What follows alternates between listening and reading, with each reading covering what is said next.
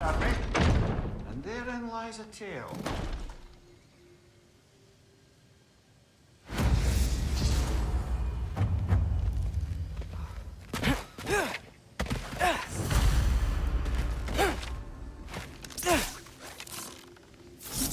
Oh no, I'm so sorry. That chime on a response to the axe. Yeah, and people whose balls have dropped. Sorry.